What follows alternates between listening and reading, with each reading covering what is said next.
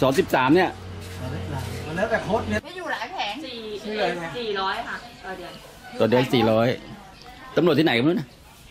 มีสว่างเลือกที่ขอบนั้คุนณภาคคุมพื้นที่ให้ค่ะก็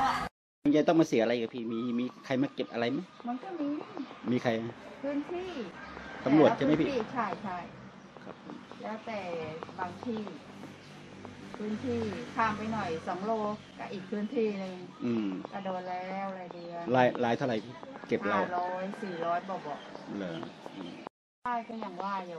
เกิดถ้าเจ้าหน้าที่บอกอ้าวทำไมอ้างอย่างนั้นอย่างนี้ ก็พูดถึงอะเราก็พูดไม่ได้ไงครับผม เพราะเรามันด้วยกับเขา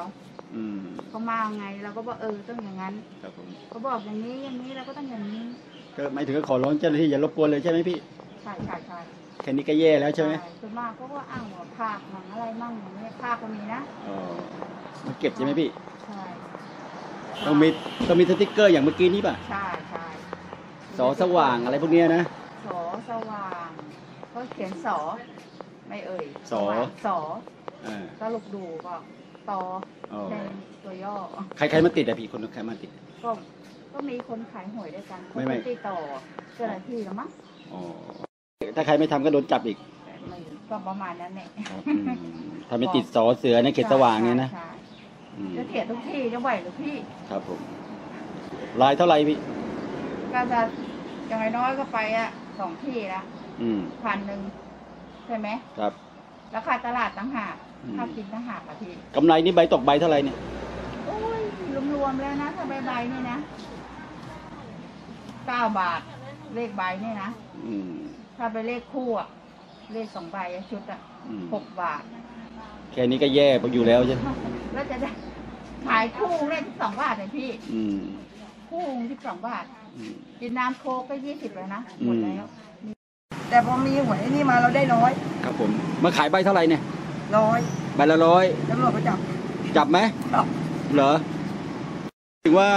พักพวกเราที่ขายด้วยกันนี่ก็โดนจับกันแล้ว โดนที่บ้านเนี่ยก็โดนกันรายละสองพันสองพันมั่งสามพันมั่งแล้วแต่ครับผม แต่ปรับ ที่อุทัยนี่หนักเขามีอะไรที่ติดอะสติ๊กเกอร์ใช่ไหมเออเฮ้ยทำไมไอ้สติ๊กเกอร์นี่เพิ่งออกรายเดือนนะใช่พี่อะเพิ่งออกเมื่อเดือนที่แล้วเนี่ยคือถ้าใครขายในอุทัยต้องมีสติ๊กเกอร์ อะ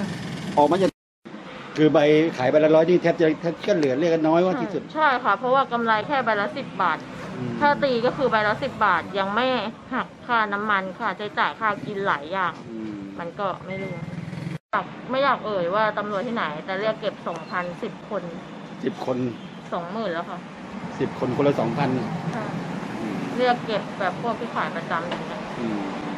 เพราะว่าเดือดร้อนพวกที่ขายจริงๆอะเดือดร้อนมาก โอ้อยากให้ช่วยแก้ไขกับตำรวจด้วยใช่ไหมเรื่องเรื่องตำรวจด้วยค่ะที่ ขายเกินราคาแต่ว่าไม่ได้มาบ่นอะเออ